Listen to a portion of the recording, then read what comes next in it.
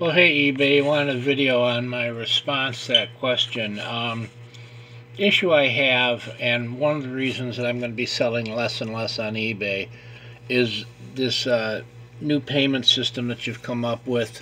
Instead of using PayPal, you will send the money to my bank. When this was first set up, on four separate occasions, you held up significant payments of mine saying you needed to verify my banking information, which I did repeatedly, and you kept asking for it, holding up payment.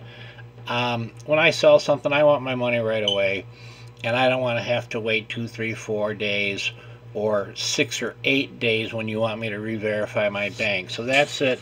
I have found other platforms to be much more uh, seller friendly, uh, get my money quicker, and uh, that's it.